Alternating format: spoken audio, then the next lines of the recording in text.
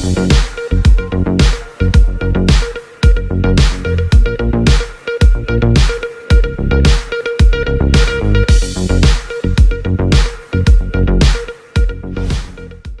आबकारी की एक और बड़ी कार्रवाई वृद्ध देवास ब में अंबेडकर नगर एवं प्रताप नगर में अवैध शराब अड्डों पर प्रभावी कार्रवाई की गई।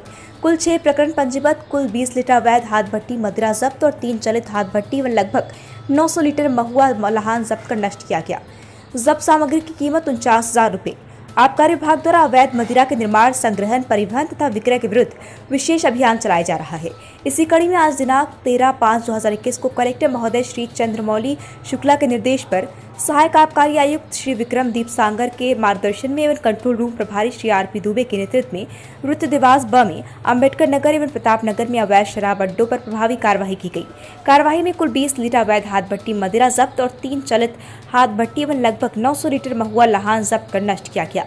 जब्त समस्त सामग्री की कीमत लगभग उनचास हज़ार रूपए है। कार्यवाही में कुल छह प्रकरण मध्य प्रदेश आबकारी अधिनियम 1915 की धारा चौतीस एक के तहत पंजीबद्ध कर विवेचना में लिए गए।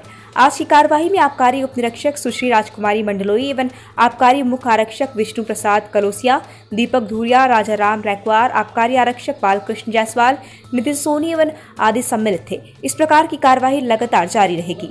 ग्लोबल इंडिया टीवी के लिए देवास उपाध्याय की रिपोर्ट।